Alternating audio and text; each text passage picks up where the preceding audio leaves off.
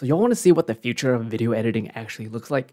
With the innovation of things like Adobe Firefly, there has yet to be an integrated Adobe API that allows you to seamlessly edit all your timeline without even having to actually become an editor. With a click of a button, you can do that. And I'm gonna do and show you guys not just any AI within Premiere Pro, I'm gonna show you Ali Abdaal, the productivity YouTuber, very own app. And I'm gonna walk you through it and show you how you can use robots to edit all of your videos. So I'm jumping to Premiere Pro and use Firecut, their own proprietary app, an API within Premiere Pro, and show you how easy it is to use robots to edit all of your videos. So right now, I'm gonna show you guys in real time. I have that video clip that I just filmed, so it's gonna be really meta. You go into Windows here. After you go to the Firecut website, you download it, it installs into Premiere Pro. You go into extensions, look, Firecut. I click that, give it some time to load. And now is you have this very user-friendly interface. You can do uh, multi-track cameras, you can add chapters, you can even add punch in, punch out. You can remove all the silences, you can remove filler words. All these are still in beta, but the first thing I'm going to do is I shall remove the silences. So I have two different tracks. One is from the actual camera and the other is from this Yeti microphone. So we'll see how this works. It's all grouped. I'm gonna click remove silences. This dialog will pop up here, which audio it wants to track from. You can do all of them, full sequence. Faster to render, do MP3. Let's go with a looser cut. You click go.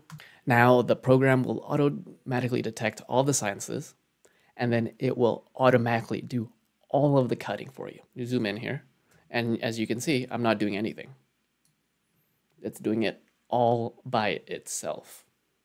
Not typing anything, not touching anything. And there you go. 19 silences were cut, 25 seconds. The cuts are made. All you really need to do is kind of sift through and see any of parts where the claps or the syncs didn't work. And you cut that out. With, for the most part, it cut all of the silences out.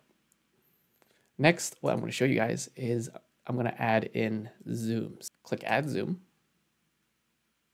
You can change the frequency. And then I'm going to click, you can also change the scale of the zoom. Animation 120. Click go. Same thing, it's going to automatically detect where it wants the zooms to go in, and it's going to automatically have the punch in and the punch out. This is essentially every YouTuber's first editor.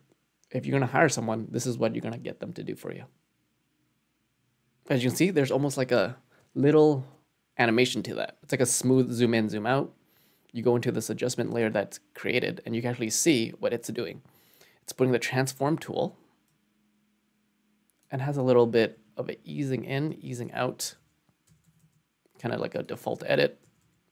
Go through here, which is pretty damn amazing.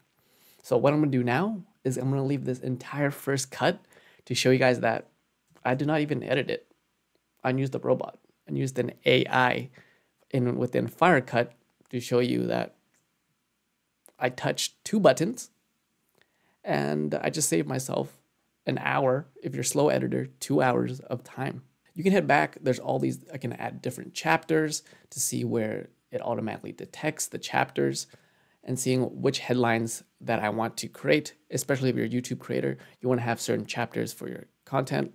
Another easy way to splice up and librarytize, categorize your own content. As you can see, I just made all, it pretty much transcribed my audio. And these are the suggested nine chapters. And what you do now, you can add clips or you can add markers. I'm just add markers. Bam.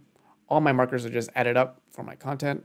And I know exactly where I'm talking about and having these dedicated chapters with these exact time marks, which would be good, especially if you want to have all these timestamps for your YouTube content. So now what I've done is I've created my own AI title cards. It does a motion lower graphic thirds title, and as you can see, it took all those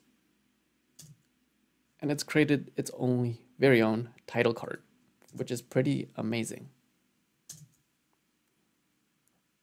For now, you can change the fonts, but that is the default title card. So you have a default title card, default zooms. The future of video editing is three clicks away from you now. And that's the scary future of video editing. Well, not really scary. As long as you're a video editor and you understand how to use these tools, you can become the master of the puppeteer, if you know what I'm saying. Long gone at the times where you need to sift through, let's say, a four hour podcast. I can just use any sort of these competitive apps that has an integrated API within Premiere Pro, and with a click of a button, I did a decent job. Of course, it's not gonna be perfect, you can always skim through, but it literally just saved you an hour, two, three hours of your time, and your time as a video editor is priceless. And I've actually teamed up with Firecut and their team over there. This is not a sponsored video, but I was able to get you guys a 30% off your first month in addition to your own free trial. You use my discount code BVC. That's something from me to you guys, always looking out for people who watch my content so you can become. You guys let me know. What do you guys think about the app? Would you use another competitor? And overall experience of future video editing. Would you use this or would you go back to the old turtle way? Because for me, after going through this app, I'm like, man, I don't know if I can edit normally again. Yeah. You're watching a Broke Vision Collective where we all start with nothing, but you can always create something.